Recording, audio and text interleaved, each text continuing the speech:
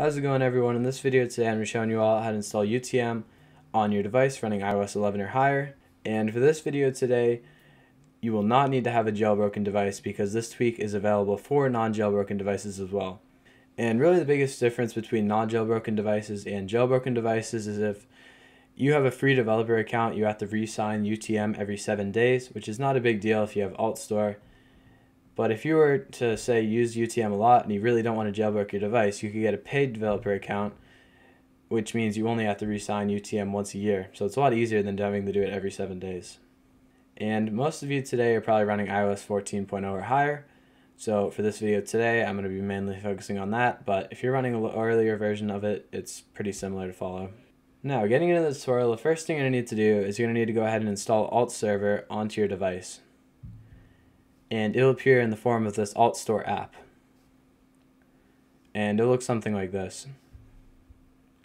And what this allows you to do is sideload IPAs directly onto your iOS device. And I have actually made, I think, one or two videos now on how to install AltStore on your iOS devices. So I will have those linked down below if you have not done this yet. But once you've signed in AltStore on your iOS device, like something like this here, and enabled background app refresh, go ahead and head over to Safari and go to this link here, which I will have linked down below as well. And look for Alt AltStore sideloading.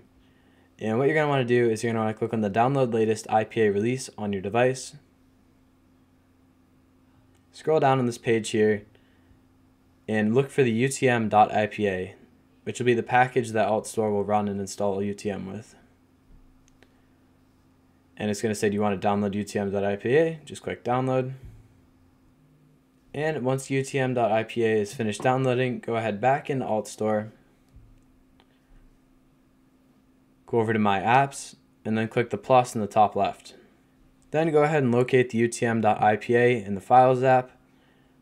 And since I've done this before, I have a few of them, but UTM-3 is my latest, and most of you will only have utm.ipa.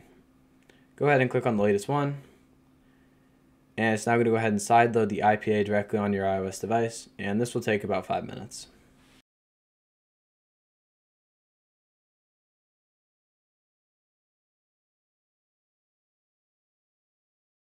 And just like that, you have successfully sideloaded UTM onto your iOS device. And really the only thing you need to watch out for now is to make sure that you at least connect your iOS device to your computer once within the next six to seven days so that it's able to refresh and so you don't lose any of your data. And besides that, you've successfully installed UTM and you're all set to go. And I do plan to make some videos on this in the near future, so make sure to stay tuned if you find this stuff interesting.